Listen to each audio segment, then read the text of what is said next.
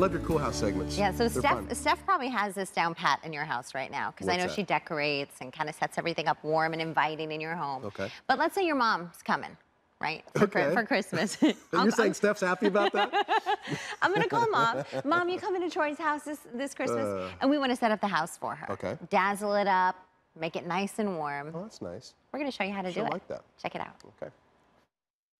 Everyone, this morning's Cool House is really unique. It's our holiday themed Cool House, and we're going to show you how to really set your home, make it warm and inviting for the holidays. Yvette Craddock is here with us this morning. Good morning to you. Good morning, Syleste. This is a sweet uh, treat for us because we get to see what you've done with this table. Yes. So I'm working with the client right now. This is her home to create a beautiful, formal holiday dining experience for her family and friends when they come into town.